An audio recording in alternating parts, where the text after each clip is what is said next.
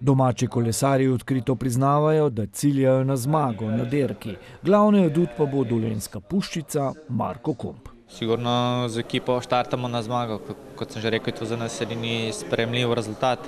Ampak ja, tudi ostalih 130 kolesarjev ne bodo prišli gledati, kako bomo mi proslavljali, tako da s fanti smo dobro pripravljeni in smo in že z veseljem čakamo na derko. Tudi letošnja mednarodna derka za veliko nagrado Adrie Mobil bo dolga nekaj več kot 180 km.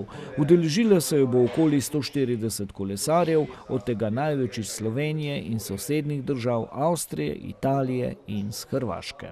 Izjemno zahtevna je.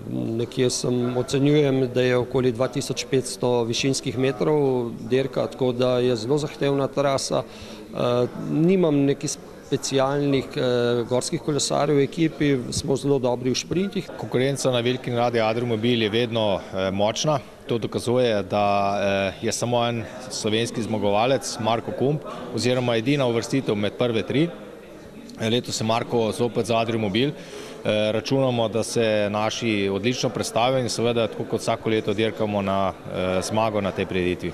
Derka za veliko nagrado Adrie Mobil je danes največja enodnevna kolesarska derka v Sloveniji. To je svojevrstno priznanje, da tudi na organizacijskem področju kolesarski klub Adria Mobil opravlja odlično nalogo in velika nagrada Adria Mobil v počastitev glavnemu sponzorju zagotovo to dokazuje.